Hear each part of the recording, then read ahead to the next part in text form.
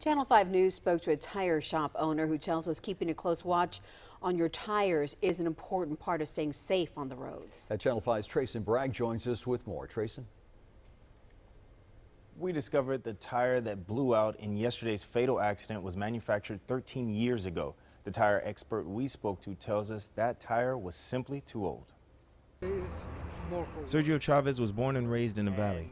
He's in the construction business. He tells us his work takes him all over the valley from McAllen to Brownsville.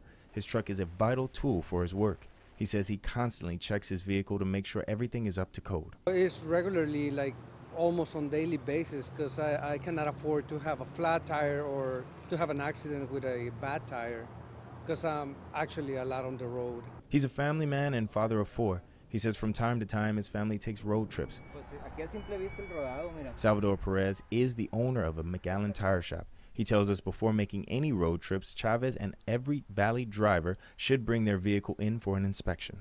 I recommend that you get your suspension and your tires inspected.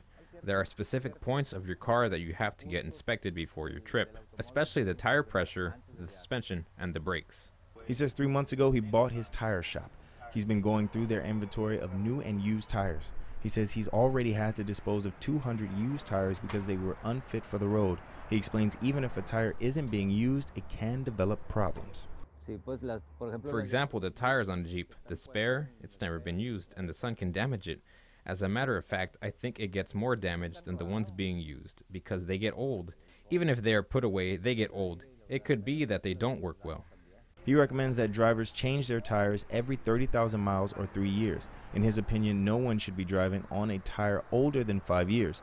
Though a tire can blow out at any moment, he says making sure you are driving on four up to code tires is key to the safety of all drivers. Perez also tells us that tire rotation is an important part in extending the life of your tires. In the studio, Trace Bragg, Channel 5 News at 6.